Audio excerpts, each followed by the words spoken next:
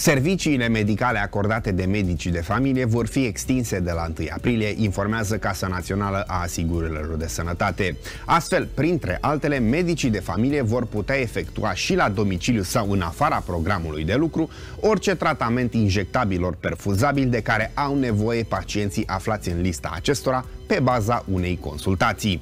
Totodată, pachetul de servicii medicale de bază în ambulatoriu va cuprinde și consultațiile și serviciile acordate de medicii de specialitate cu specialitatea clinică, medicină fizică și de reabilitare în cabinetul medical.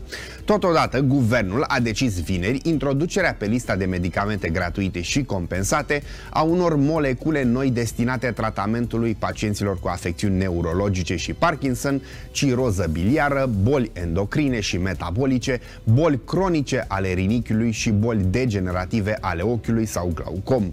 Lista este completată de medicamente destinate pacienților cu afecțiuni oncologice, cu diabet zaharat, cu boli rare, hemofilie, talasemie, cu, cu hipertensiune pulmonară, amiotrofie spinală, amiloidoză și angiodem ereditar.